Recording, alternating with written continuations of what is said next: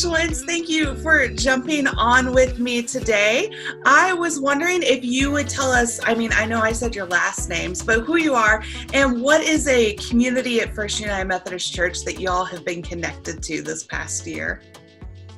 We are uh, Eric and Carrie Schwint, and we've been attending the Zachary's uh, home, home church with uh, Lori and, and Michael Zachary.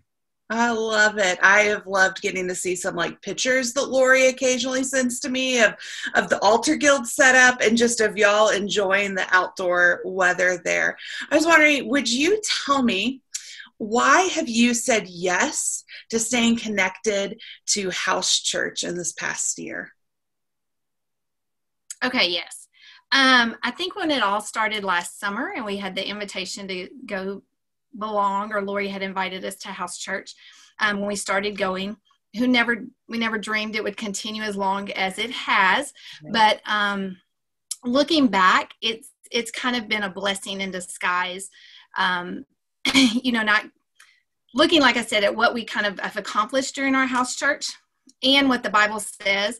In acts 2 42 through 47 it kind of gives an outline of what a house church should be. And i think our house church does a pretty good job of it. We do discuss god's word which is after the sermon that either you or pastor daniel um, delivers. We do fellowship with each other which is being with each other and encouraging. We um, have communion. We share our joys and concerns with each other so we do pray um, with each other for the week ahead coming into the next week so I think overall, it's been kind of like the next best thing.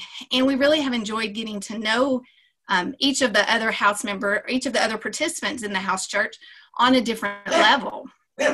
So that's been nice. Mm-hmm. Now, don't get me wrong. I personally think I've missed a lot of the church church as far as, you know, I do miss the choir. I miss watching the little kids go up to the front of the church.